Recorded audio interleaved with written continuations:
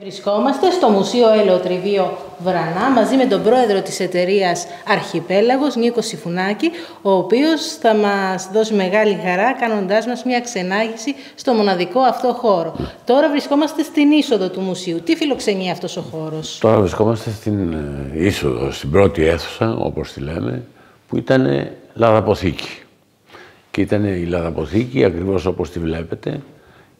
Εδώ τα κιούπια τα πύληνα που στο καθένα χωρούσαν 800, 800 σοκάδες λάδι και απέναντι οι νεότερες κατασκευές του 1900 που είναι οι ντάνες, οι σιδερένιες, οι μεγάλες, όπου μεταγγιζόταν το λάδι από τα κιούπια. Καταστάλαζε το λάδι ένα-δύο μήνες στα, στα κιούπια και συνέχεια μέσω αυτής της μηχανής που προέρχεται από την Νίκαια της Γαλλίας, το τοποθετούσαν μέσα στις μεγάλες βαρέλες της και από εκεί έμπαινε είτε στα λαγίνια είτε στα βαρέλια, φορτωνόταν στο κάρο που ήταν εδώ απ' έξω και πήγαινε στο λιμάνι του Περάματος προκειμένου να φορτωθεί και να γίνει η εξαγωγή. Εδώ λοιπόν, σε αυτόν τον χώρο ε, της υποδοχής, έχει κανείς να θαυμάσει αυτό το αντικείμενο που είναι ο διπλός λινός. Έχει όμως να δει και όλη την ιστορία του μουσείου, ξεκινώντας βεβαίως από το ποίημα το άξιο νηστή του Οδυσσέα Ελίτη που αναφέρεται στα πέντε χωριά της Γέρας, την ε, τιμητική, αν θέλετε, ε, ετικέτα με την προσωπογραφία του Νίκου του Κούντουρου πριν ξεκινήσει το έργο αναστήλωσης του ελαιοτριβίου με την καταραίουσα καμινάδα και την ιστορία του, όπως ξέρετε, ήταν 20 χρόνια πρόεδρος του Διοικητικού Συμβουλίου του Μουσείου. Αγάπησε χάρη στο Μουσείο την ε, Λέσβο. Δεν ήταν όμως τυχαία η αγάπη του που συνέπεσε με τη δική μου όσον αφορά τα ερήπια και κυρίως τα βιομηχανικά κτίρια διότι η οικογένειά του, ο πατέρας του, ο Σύφης ο Κούνδουρος, ο οποίος ήταν υπουργός δικαιοσύνης του Ελευθερίου Βενζέλου και υπουργός Άμυνας, μεγάλη προσωπικότητα, ήταν ιδιοκτήτης ενός πυρηνελαουργείου στον Άγιο Νικόλαο της Κρήτης. Άρα ο Κούνδουρος είχε ζήσει στην Αιγαία, αγαπούσε την Αιγαία και τη μυρωδιά της και γι' αυτό αγαπούσε και αυτόν τον τόπο. Στη συνέχεια είναι ο Μιχαλάκης ο Βρανάς, ο τελευταίος των Βρανάδων και η αφεντιά μου την ημέρα που υπογράψαμε το συμβόλαιο αγοράς. Και είμαστε μπροστά από το σπίτι του, στην Σουράδα, φαίνεται από πίσω το σπίτι. Στη συνέχεια είναι ο ιδρυτής του Ελαιοτριβίου, ο Βρανάς Νικολάου, γιατί το επώνυμό του ήταν Νικολάου και Βρανάς ήταν το μικρό, το οποίο μετά στην πορεία αντιστράφηκε. Αυτό φαίνεται και στην επιγραφή απ' έξω που θα δείτε Βρανάς Νικολάου 1887 όταν ουσιαστικά δημιουργήθηκε το ελαιοτριβείο.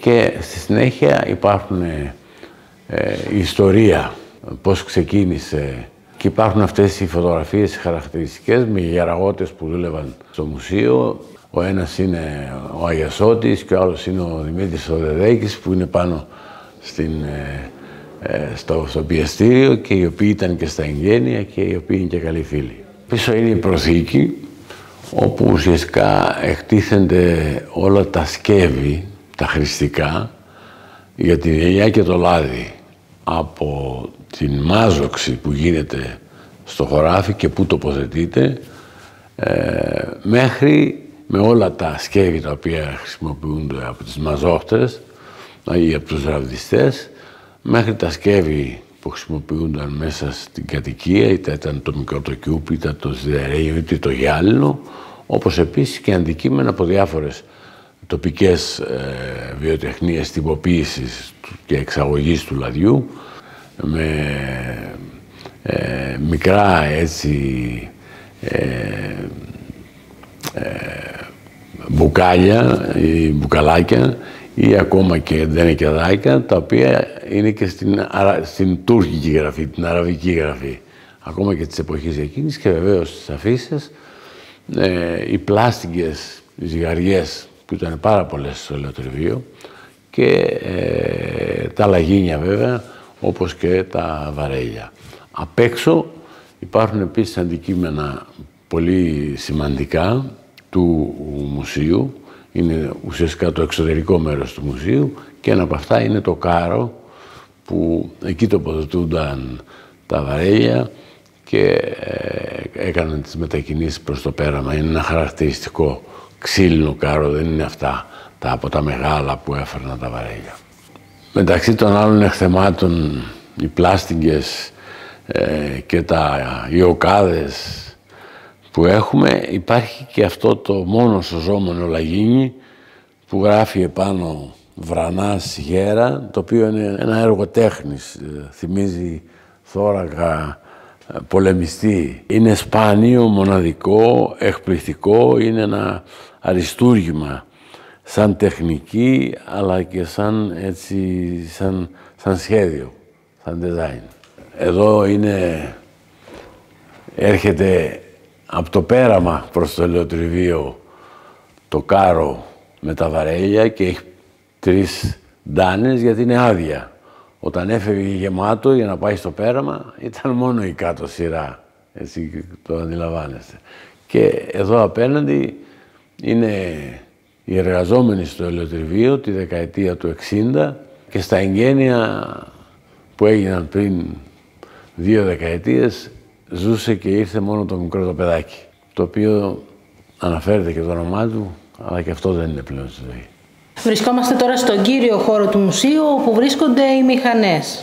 Εδώ είναι ο κύριος χώρος παραγωγής, όπως το λέμε, του ελαιοτριβείου και που είναι οι δύο μήλοι, ο κάτω μήλος και αυτός ο μύλος και με τις πληροφορίες που έχουμε συλλέξει υπήρχε και ένας τρίτος, ο οποίος ήταν ξύλινος κινητός.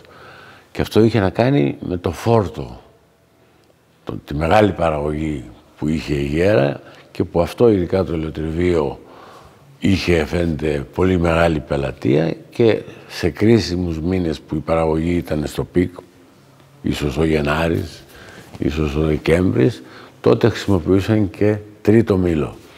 Είναι λοιπόν ένα ελαιοτριβείο με τρεις μήλους, με τρία πιεστήρια, τρεις αντλίες και βεβαίως όλο το μηχανισμό το λαβάλ. Με τα με τους σημάντες μεταφοράς και την κίνηση. Σήμερα το ελαιοτριβείο μας στο μουσείο έχει ένα πλεονέκτημα ότι με την ανακαίνιση την καινούργια την οποία κάναμε και όπως θυμάστε τον γενιάσαμε πέρσι, πλέον ο επισκέπτης έχει τη δυνατότητα να δει, να μπαίνει μπροστά η μηχανή, μια από τις 7 μηχανές που σώζονται στον κόσμο, μάρκα Στάγκερ, και όλες είναι σε μουσεία, έχει δυνατότητα λοιπόν να δει τη μηχανή να παίρνει μπροστά, να δει τους σημάντες μεταφοράς και τους τροχαλίες να γυρνάνε, να ξεκινάει ο μήλος με τις μιλόπετρες να γυρνάει, η αντλία η μία να, να λειτουργεί και το πιεστήριο το ένα επίσης να λειτουργεί και εφόσον του βάλεις και πολτό θα σου παράγει και λάδι. Και αυτό νομίζω είναι πολύ σημαντικό, είναι δηλαδή ένα πράγμα που δεν υπάρχει σε άλλα μέρη της Ευρώπης. Με την αείμιστη τυρούρα της Φνέου, την οποία θα γνωρίζετε και ε, ήταν ένα δραστήριο μέρος της ε, εταιρείας Αρχιπέλαγος, ε, είχαμε γυρίσει σχεδόν όλη την Ιταλία, την ελαιοκομική και την Γαλλία, την Κονταζούρ, την Ιταλική και την Γαλλική. Βρήκαμε ελαιοτριβία, αλλά δεν βρήκαμε τέτοια και δεν σώζονται στο βαθμό που σώθηκαν τουλάχιστον στη Λέσβο. Πώς αποφασίσατε να σώσετε αυτό το βιομηχανικό κτίριο και να δημιουργήσετε ένα χώρο πολιτισμού; Όταν ε, πρώτο, πριν 42 χρόνια ήρθα στη Μυτιλίνη, ε, ξεκίνησαμε τέσσερα άλλα ελαιοτριβία, τα οποία τα σώσαμε, τα οποία ήταν κοινοτικά. Τρία κοινοτικά, στο Μανταμάδο, στο Πολυχνίτο και στο ε, στην Αγία Παρασκευή και ένα ε, σαπουνοποιείο στο Πλωμάρι, το οποίο το αγοράσαμε γιατί δεν το Δήμος. Και έτσι τα κάναμε τα πρώτα πολύ κέντρα. Και σιγά σιγά άρχισαν και κάποιοι επιχειρηματίες όπως το Μόλιβο, η Ραφινερία, Τρίφωνα, έγινε ξενοδοχείο. Είναι σημαντικό ότι πήρε μια καινούρια χρήση. Όπως και κάποια άλλα έγιναν μαραγκούδικα, ξυλουργία και προς τη Μόρια υπάρχει. Δεν μπορούν να γίνουν όλα μουσεία. Έτσι λοιπόν η προσπάθεια αυτή ξεκίνησε πριν από 4,5 δεκαετίες. Αυτό εδώ όμως το αγαπήσαμε και προξενητής ήταν η Ρούρα Ισφνέου, η οποία την είχε πλησιάσει ο Μιχαλάκης ο, ο Βρανάς, ο τελευταίος ιδιοκτήτης, και της είπε ότι το πουλάει και μου έβαλε το μικρόβιο. Και η ίδια το είχε βέβαια και έτσι πείσαμε και τον Νίκο τον Κούντορο και τα άλλα μέλη, τον Άγγελο τον Λιβοριά, ζούσε και η Αργίνη, η Αργίνη Γούτου και έτσι το αγοράσαμε και σιγά σιγά βάλαμε μπροστά τις διαδικασίες των μελετών και της ε, μετατροπής σε μουσείο. Βρισκόμαστε στην αίθουσα Ευρυδίκη Συφνέου. Μπορούμε να καταλάβουμε το λόγο που πήρε το όνομα αυτό. Θέλετε να μας πείτε ε, τι φιλοξενεί αυτή εδώ η αίθουσα; Αυτή καταρχήν ε, η χρήση της αρχικά ήταν ένας ιδιωτικός χώρος της οικογένειας Βρανά, όπου στην ουσία το επάνω μέρος έφτιαχναν και σαπούνι, εδώ κάτω κρατούσαν τις δικές τους ελιές, τις οποίες αυτές τις δύο έτσι, δεξαμενές τις έπλυναν, ίσως στο ένα οι αλεπουδελίδες και στο άλλο οι βρανάδες. Πολλές φορές χρησιμοποιείται όμως και από τους εργαζόμενους. Γιατί να ξέρετε ότι στο peak, στο full που λέμε τη σεζόν, εδώ εργαζόταν πάνω από 40 άνθρωποι.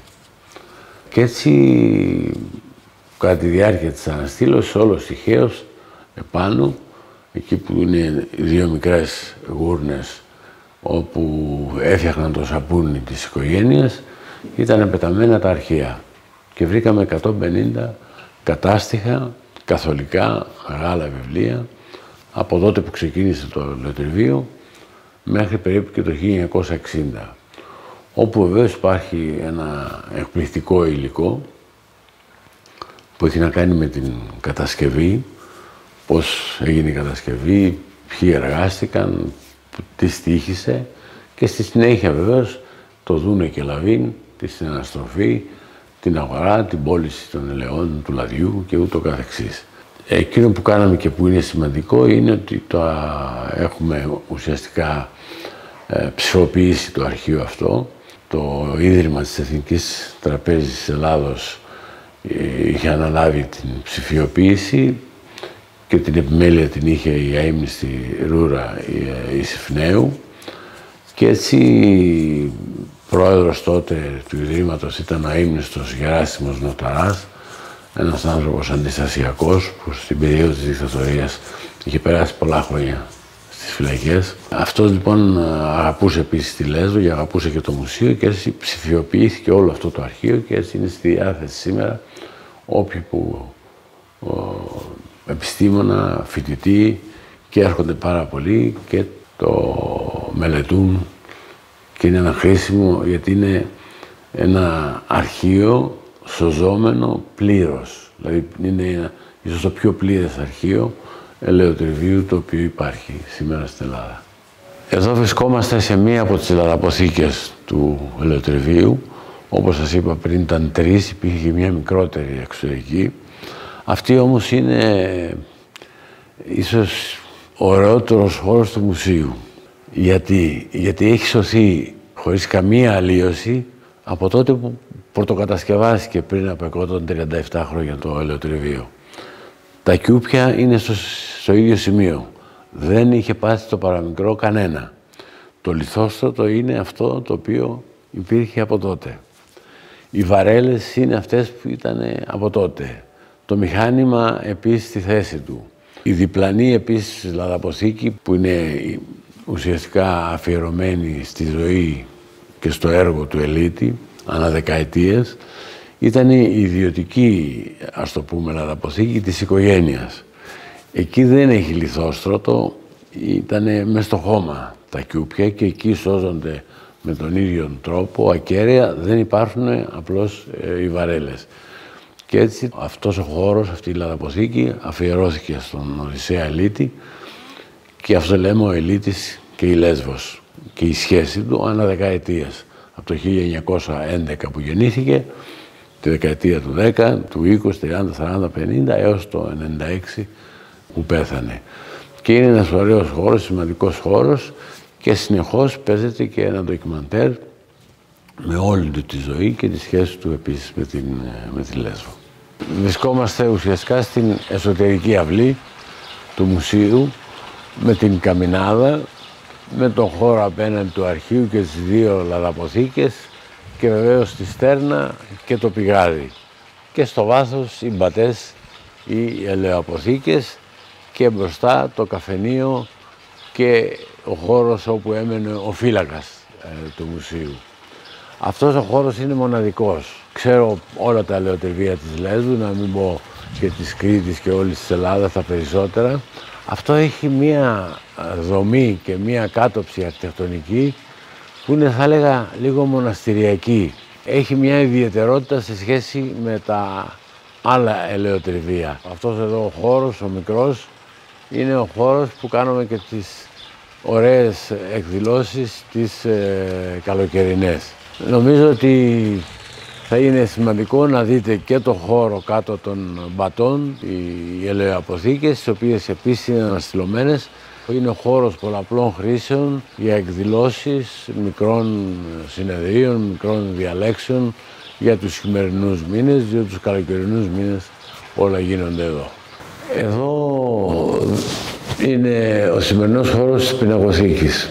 Εδώ όμως ήταν ουσιαστικά ο χώρος του καζανιού, όταν το εργοστάσιο ήταν ατμοκίνητο και περνούσε από εκεί, έμπαινε ε, από τον καθρέφτη το λεγόμενο, έμπαινε η πυρήνα, η ταξίλα η πυρήνα, περνούσε από εδώ και έβγαινε στην καμινάδα απέναντι. Άρα αυτός ο χώρος ήταν ουσιαστικά ο χώρος όπου οι άνθρωποι ήταν με τα φτιάρια και πετούσαν την πυρήνα μέσα ή τα ξύλα για να προκειμένου να δουλέψει η ατμοκίνητη ουσιαστικά μηχανή του ελευθερίου. Αυτό το μετατρέψαμε σε πινακοθήκη και όταν κάναμε τα εγγένεια, μια ομάδα ζωγράφων σημαντικών, ίσως των πιο σημαντικών της Ελλάδας, ε, έκαναν και ένα δώρο στο μουσείο εμπνευσμένοι από το ελαιοτριβείο και από την ελιά. Έτσι, αρχίζοντας από το, αυτό εδώ το υπέροχο έργο του Παναγιώτη του Τέτση, ίσως ο μεγαλύτερος ζωγράφος, λίγο νεότερος από το Γκίκα, και αφιέρωσε αυτό το έργο. Ε, έφτιαξε επίσης 250 μεταξιοτυπίες, τις οποίες τις υπέγραψε ο ίδιος και τις δόρισε στο μουσείο και τις πουλάει. Ο ψυχοπαίδης ο Γιάννης έκανε αυτά τα δύο υπέροχα έργα με κορμούς ελιάς. Ο Φασιανός με το γνωστό του έργο, ο Λασιχιωτάκης, ο Μαδένης, ο Σόρογκας, ο Νίκος ο Στεφάνου, όλοι οι καλλιτέχνες ε, που τους ε, ενέπνευσε το μουσείο. Και εδώ υπάρχει η προθήκη αφιερωμένη στον Νίκο τον Κούντουρο, με αντικείμενα δικά του, όπως ήταν τα γυαλιά του, όπως ήταν η αμηχανή του, όπως ήταν το μπαστούν του, τα πινέδα που χρησιμοποιούσε γιατί ήταν και ένας υπέροχος ζωγράφος εκτός από σκηνοθέτης. Ο Νίκος ο έγινε σκηνοθέτης, αλλά είχε τελειώσει τη Σχολή Καλών Τεχνών. Και ε, παρότι τελείωσε τη Σχολή Καλών Τεχνών, έχει κάνει πάρα πολύ ωραία έργα ζωγραφικής έχει κάνει βεβαίως και ωραία αρχιτεκτονικά έργα, γιατί ήταν και ε, ο λίγων αρχιτέκτονας. Αυτή λοιπόν η προθήκη είναι αφιερωμένη στον Νίκο Δογούνδρο. Τι σημαίνει αυτό το μουσείο για σας; Για μένα και για όλους όσους ε, εργαστήκαμε εδώ είναι ένα έργο ζωής. Με την έννοια ότι είναι ένα προσωπικό έργο μιας ομάδας ανθρώπων. Το έφτιαξαν μόνοι τους, το αγόρασαν οι ίδιοι, το έφτιαξαν Βεβαίως μπήκαν σε προγράμματα ευρωπαϊκά, αλλά συνεισέφεραν και οι ίδιοι. Και το πιο σημαντικό είναι η συνεισφορά σου. Αν δεν υπάρχει συνεισφορά σου, η συνεισφορά αυτών που δούλεψαν, όχι μόνο να κάνουν τις μελέτες, πολλά πράγματα. Δεν είναι δηλαδή όπως τα άλλα έργα. Έτσι, το αγαπάω εξίσου και έδωσα τα πιο δημιουργικά χρόνια της πολιτικής μου ζωής, τα έδωσα για το μουσείο στο Πολυθωμένο Δάσος στο Σίγρη από την αρχή έως το τέλος. Αλλά αυτό είναι ένα δημόσιο έργο. Το έκανα ως δημόσιος λειτουργός σε ένα δημόσιο έργο. Το ίδιο μπορώ να σας πω για το Αρχαιολογικό Μουσείο Μητυλίνης. Και αυτό ήμουν δημόσιος λειτουργός, ήμουν επικεφαλής του Υπουργείου Πολιτισμού και μπόρεσα και το έκανα με τις υπηρεσίες των Υπουργείων. Το ίδιο μπορώ να σου πω για το μουσείο, το ανάλογο της Αγίας Παρασκευής. Εμείς κάναμε τις μελέτες, ε, το εντάξαμε στο τρίτο κοινοτικό πλαίσιο στήριξης. Πήρε η τράπεζα πληρώσει το οποίο 3 εκατομμύρια. Είναι σημαντικό όμως ότι το λειτουργεί. Δηλαδή, αυτά είναι έργα τα οποία ουσιαστικά έγιναν είτε με την, δημόσια, την ιδιότητά μου ως δημόσιος λειτουργός, είτε παρεμβαίνοντας ως δημόσιος λειτουργός και αναφέρομαι στην Τράπεζα Πυραιός και στο ΠΙΟ. Αυτό εδώ είναι ένα έργο κάποιων φίλων, οι οποίοι εργάστηκαν, αν θέλετε τους παρακίνησα, αν θέλετε τους ε, επηρέασα και ήταν πολύ σημαντικό ότι αγκάλιασαν ε, αυτό το εγχείρημα. Και επαναλαμβάνω και πάλι ότι αυτό εδώ το ελοτριβείο είναι ίσως το αρχαιότερο ελοτριβείο, είναι το αρχαιότερο ελοτριβείο της περίοδου που λέμε πότε ξεκινάει η, βιο, η βιομηχανική επανάσταση στην Ευρώπη, η νεότερη ξεκινάει το 1860. Αυτό έγινε 10 χρόνια μετά, άρχισε να γίνεται περίπου. Σε σχέση με την Αγία Παρασκευή είναι 37 χρόνια παλαιότερο. Σε σχέση με το Μαδαμάδο το ίδιο. Αυτό λοιπόν ε, είναι ένα ξεχωριστό κτηριακό συγκρότημα. Και έχω πει και το ξαναλέω και θα το λέω, ε, γιατί αυτό δεν ζει με δημόσιο χρήμα, ότι και αύριο, αν δεν έχουμε να το στηρίξουμε, γιατί ξέρετε, τα, ένα, ένα μουσείο δεν βγάζεις ούτε τα λειτουργικά αντιέξοδα. Δεν πληρώνει ούτε τη ΔΕΗ. Αυτό συμβαίνει στα περισσότερα μουσεία. Δεν είναι, είναι κερδοφόρα τα μουσεία. Όμως και να κλείσει αύριο το πρωί θα αντέξει ως οίκημα για άλλα 130 χρόνια όσο άντεξε και τώρα. Γιατί κάνα μια πολύ ωραία παρέμβαση στην ανακαίνιση.